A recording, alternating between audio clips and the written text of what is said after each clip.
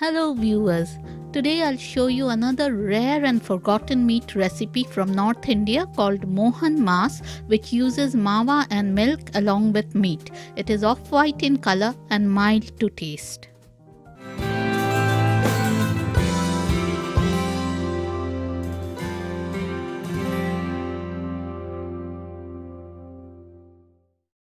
For this recipe, I'll be using 1 kg boneless goat meat or mutton as it is called in India, 1 bay leaf, 1 mace blade, 2 sticks of cinnamon, a few cloves and green cardamoms, 1 teaspoon chili seeds, 1 and a half teaspoon white pepper powder, 2 tablespoons of almond and cashew powder, 4 tablespoons of thick yogurt, 200 milliliters of whole milk, 1 cup red onion paste, 1 tablespoon each ginger garlic paste. Let's heat some ghee or clarified butter in a cast iron pot. Let it melt and heat up and then add the whole spices to the pot. Let them sizzle a bit and then add the onion paste into the pot and fry on high heat for a few minutes.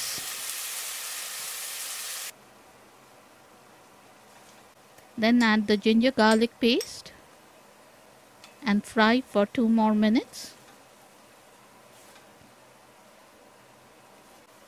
Then add the meat pieces into the pot and mix them in. Fry the meat on high heat for 2 to 3 minutes to seal it on all sides.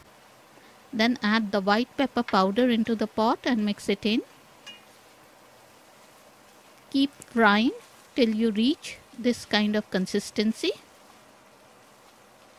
Then add the yogurt to the pot and mix it in.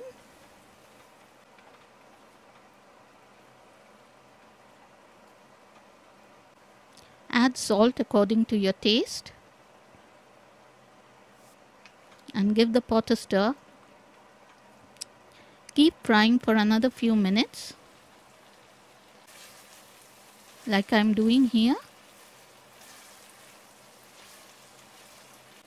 Then add the almond and cashew powder into the pot and blend it in.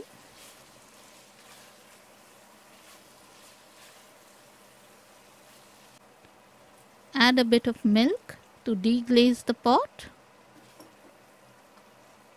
and give the pot a stir.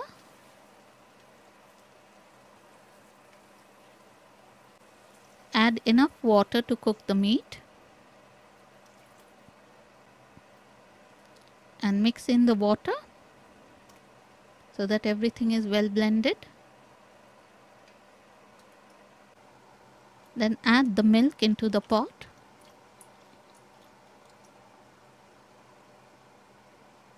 Give the pot a stir and cover and cook on low flame for 1 hour. Keep a watch on the pot from time to time. After an hour,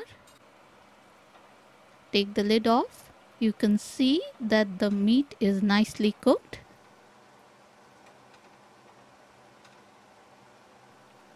Now it is time to add the specialty Indian ingredient mawa which is dried solidified milk. This is homemade mawa and I'm going to add all of it into the pot. You can add far less or not none at all but the taste of the curry won't be the same without the mawa. Mix it in, let it melt and our rich, smooth, delicious mohan maas is ready to be plated up.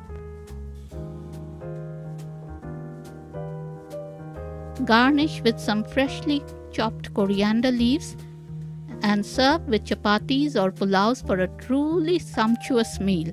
This is my own recipe of Mohan Maas, which I have recreated from snippets of information from varied sources. Give my take on this lost Indian recipe a try and enjoy.